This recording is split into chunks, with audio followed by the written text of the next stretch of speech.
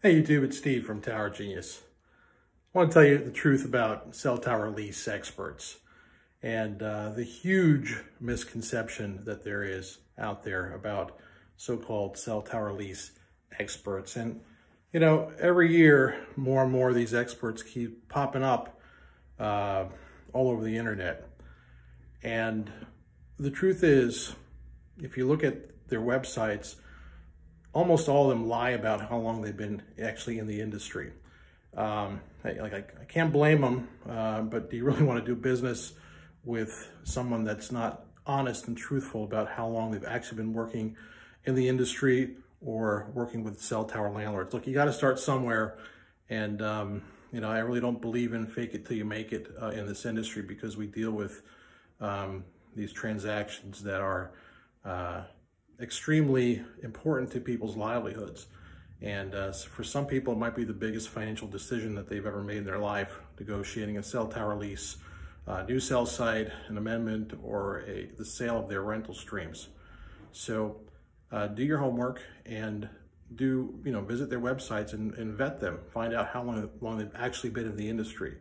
Uh, or were they just working for some lease buyout company for a year or two and flunked out and went out on their own or had little or no success and um, you know, ventured out to uh, start trying to purchase rental streams. It's, that's really the angle of most of these folks. They're really not, um, once you let them know that you want to keep your rental stream, you're not interested in selling, well, there's not going to be a whole lot of value added uh, to their, you know, to whatever they're proposing to you. And then check out to see if they have any conflicts of interest. Are they working both sides of the deal? Do they get paid by American Tower or Crown Castle or SBA? Uh, or any of these per, uh, lease purchase companies? Or are they working exclusively for you? Will they put into their contract they have no conflict of interest? That's a big one. And uh, or check out their websites. A lot of these websites won't even list um, who the partners are, or you have no idea who you're dealing with because they might be double dipping or have some other job. This could be a side gig for them. So again, choose your cell tower lease experts very carefully.